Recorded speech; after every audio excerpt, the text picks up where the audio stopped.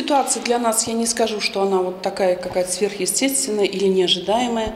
Э, Ульяновская область э, в 2019 году, свидетели все с вами, да, уже зарегистрирована вспышка африканской чумы свиней.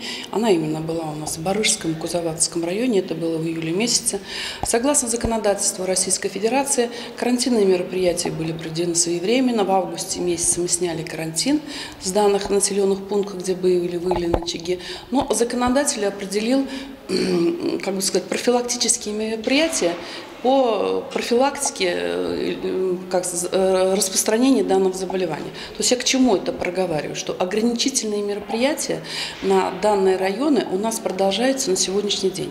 И то есть в целом они по указу губернатора, у нас все прописано, они у нас сниматься будут в начале февраля. То есть и сегодня вот у нас заседание э, противоэпизодической комиссии неочередное. Первый вопрос, он будет как раз посвящен исполнению указа губернатора Ульяновской области Сергея Ивановича Мороза и доклада о том, как мы завершаем сегодня ограничительные мероприятия.